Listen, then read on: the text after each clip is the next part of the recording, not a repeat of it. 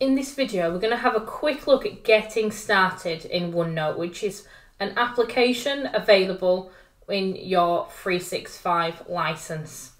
It's really a digital notebook, so I'm a very techie person. I like to have loads of different devices around me, and you'll always find me attached to one of them. But when I'm working on writing notes or thinking about ideas, I do like a physical notebook. I like a pen, a nice handwriter pen, and I like numerous notebooks around me. But that means I've got constant notebooks going on. I need to eventually pull out all the information or throw it away, or they'll just be sat gathering dust in a corner. What OneNote will allow you to do is digitalize all of your notes that you've done in the past and also ongoing as well.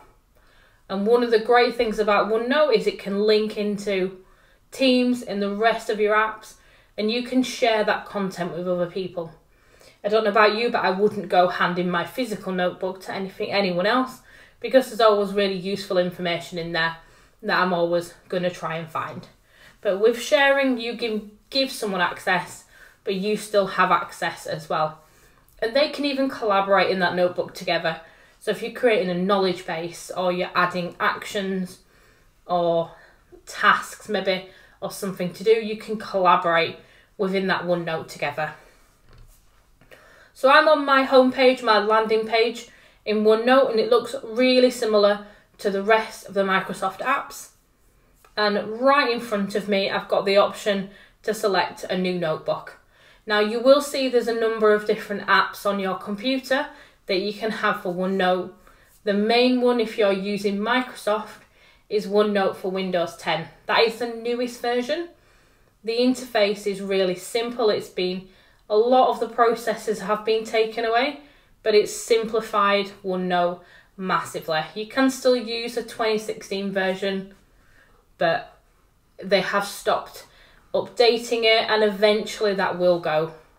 So the newer version is much easier to use and I've got it open on a browser just so you can see the functionality available on a browser window, whichever, whether you're a Mac or a Windows user. So I'm going to click on new notebook in a second and cre create a brand new notebook to start working with. I've got a few options in here just before I do. With my account, my DS Development Services account, I get a notebook that I can use as part of that. I've also I can also pin notebooks. I can pop notebook. I can see my notebooks and I can see any notebooks that have been shared with me. So none of them, nothing's been shared with me at the moment, but if it has, then I will see it in that section. Just a quick note that these notebooks get saved to OneDrive, so you don't even have to come into OneNote you can actually just go to OneDrive and access all, all of your notebooks from there, which is great. So I'm just going to click on New Notebook and pop in a title. And when I've popped in that title, I'm going to click on Create. And that's going to create my brand new notebook for me. At the moment, it's empty. Because I've not used this in a while, it's going to give me a few options of how to use OneNote and find anything that's new within the application. So I'm just going to click on got it and I'm just going to remove the pointer at the top. So this is my notebook. I can see I've got my sections and pages down here on the left hand side and then I've got my notebook section where I'm going to populate all of my information here on the right hand side. So I've got three parts of this screen and then I've got a toolbar at the top.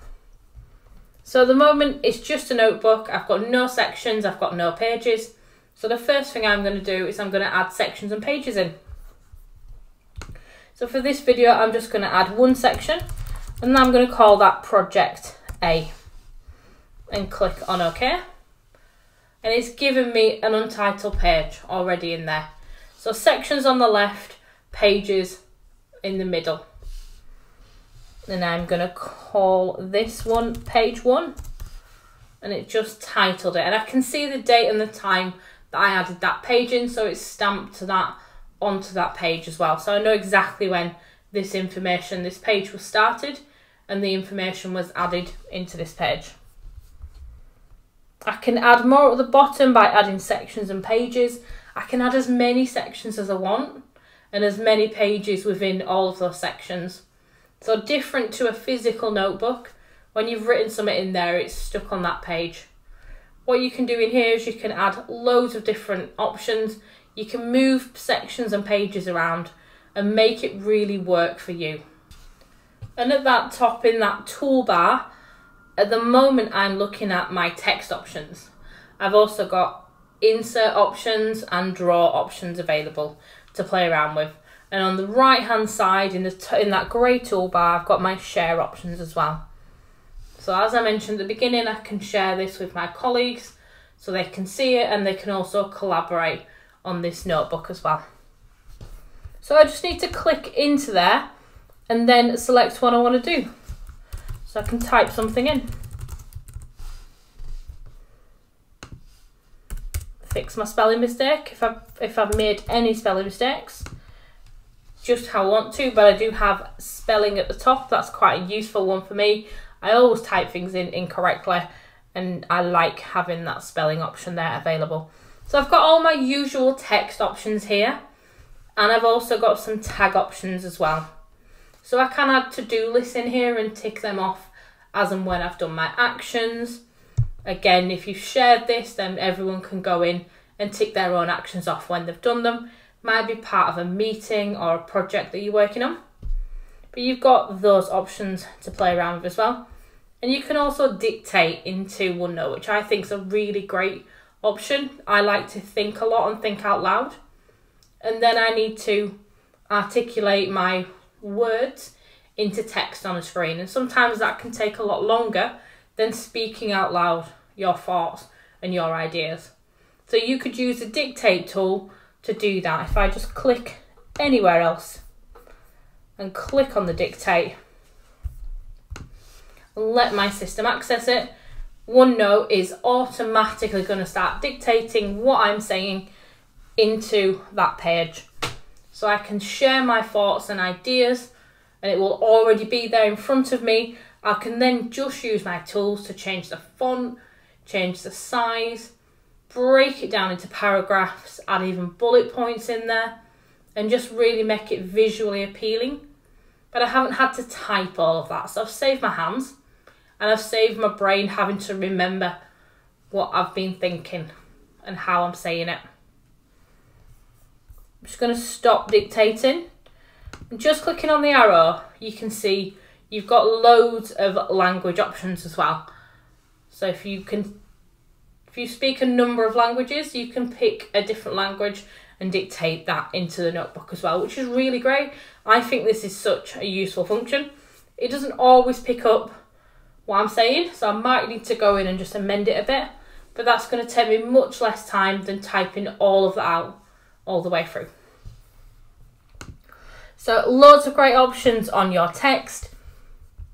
Insert, you can see that I can insert tables, I can insert documents and pictures. I can also insert symbols, emojis, maths, stickers, loads of great options there for content that I can insert. So it doesn't just have to be text on a page, which is really great. I can make it nice and visual and add loads of great documents into my OneNote so I can keep all of those together in the same place as well. And then I've got draw.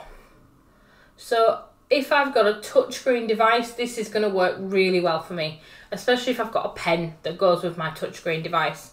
So I can draw, I can handwrite into OneNote. All of my notes, all of my ideas, I can draw on the page, I can annotate an image that's in there, I've got loads of great options to play around with on here.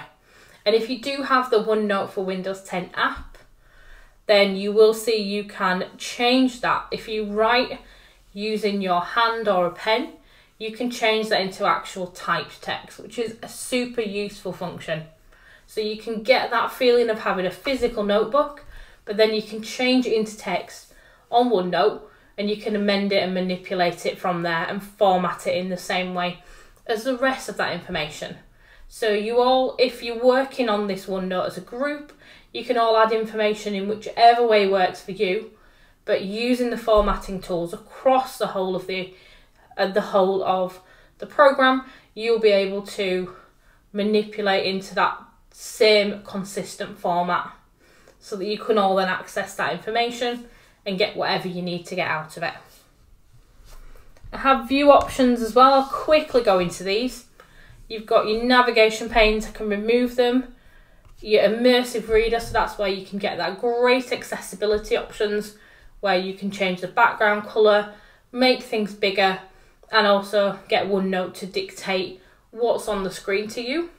So loads of great options in there to have a play with and across the right hand side. And the final thing I will say is you've got the share option on the right and I'm just going to click on that so you can see. It's saved in OneDrive so I'm going to share from OneDrive. So I've got this the exact same box that I'm going to get if I've got any content in OneDrive and I'm looking to share it. Pop the person's name in that you're going to share it with or if they're outside of your company or business then pop in their email address and then just click on send. And you can also add a message in. You do have the opportunity as well to send a link as well. So you could send the link via text, via instant message, or on a web platform somewhere. So you've got loads of options to share your OneNote and your notebooks and start working on them together and collaborating. So see how you get on with OneNote.